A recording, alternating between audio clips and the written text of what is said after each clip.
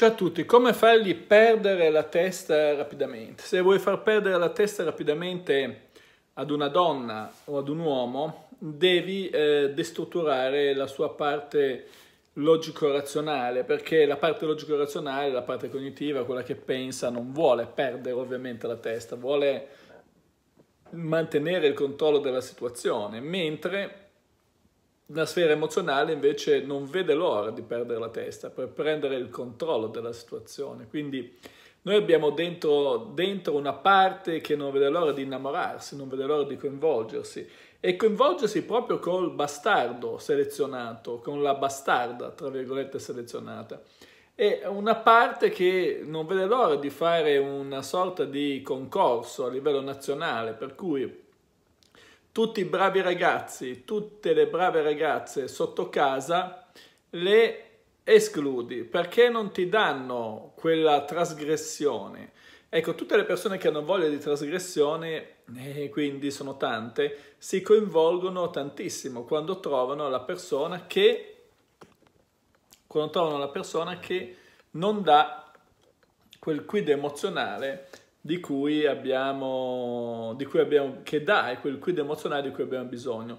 E eh, la figura, lo stronzo, la stronza sono le figure ideali, quindi ovviamente non devi farlo eccessivamente perché c'è sempre un'altra parte che si lega, per cui, eh, come dire, devi erogare, se vuoi far perdere la testa rapidamente, delle polpette avvelenate eh, senza che l'altra persona se ne accorga. Insomma, devi travestirti da nonna da nonna, ma dentro devi essere il lupo cattivo per conquistare quindi devi subito capire quali sono, eh, quali sono le, le parti dell'altra persona, i punti deboli dell'altra persona, quali sono le parti dell'altra persona eh, che a livello emotivo danno dei, diciamo, dei turbamenti, delle emozioni compresse.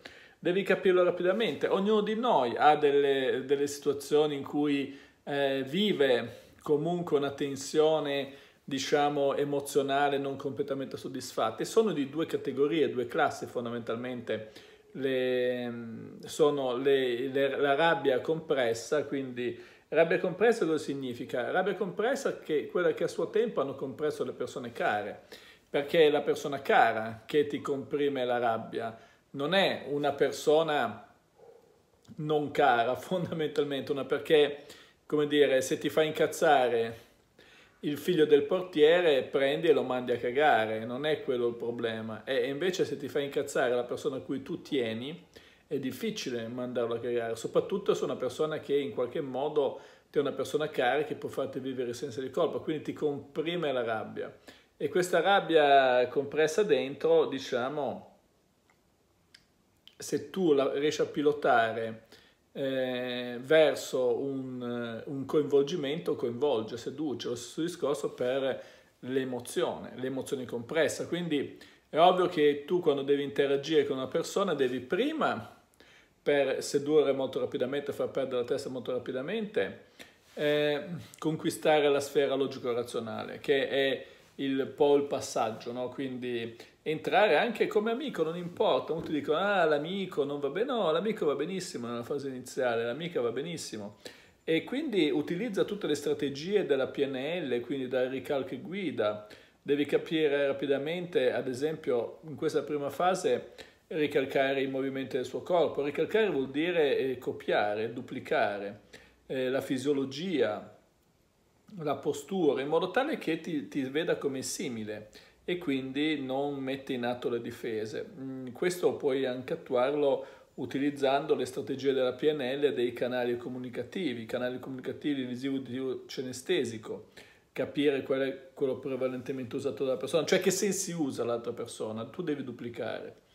Poi una volta che hai fatto questo, che cosa devi fare? Devi andare a, invece a, a generare della rabbia, generare della rabbia perché a quel punto lì, quel po' di potenziale che hai, e la rabbia fa fare delle piccole incazzature, no? E come fai? Quindi, beh, non lo so, ad esempio dai degli appuntamenti e dai buca, eh, insomma, fai incazzare un pochettino, eh, vai a denigrare un po' l'altra persona, vai a, come dire, a mettere in atto dei comportamenti sempre in modo graduale e calibrato, perché l'importanza è del modo graduale, perché Se tu lo fai molto rapidamente, cioè la persona può cortocircuitarti e quindi reagire, no? E allora se esprime la rabbia non c'è più emozione, perché quello che poi seduce è l'emozione che riesce a comprimerli.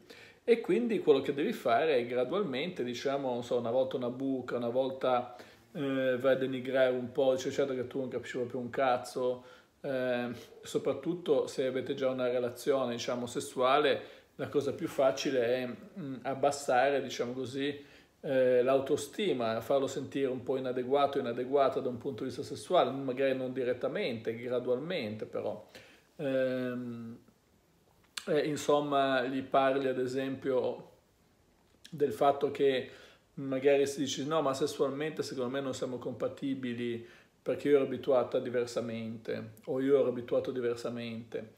Quindi questo vale sia per l'uno che per l'altro, sì, perché poi le persone proiettano, quindi se per caso questa persona qua non si sente sessualmente, diciamo così, al 100%, in questo modo gliele amplifica. Uno dice, ma eh, se gliele amplifica dovrebbe fuggire, invece no, invece si coinvolge perché, per quale motivo si coinvolge? Si coinvolge perché tu vai a ricalcare esattamente le stesse emozioni che hanno costituito il suo imprinting, in questo caso il senso di inadeguatezza, il senso di non sentirsi completamente, completamente a suo agio, no? diciamo, sentirsi magari rifiutato, sentirsi la persona sbagliata. Questo è fondamentale perché se tu fai questo eh, fai subito perdere la testa e questo lo puoi capire molto rapidamente eh, nell'ambito di una relazione.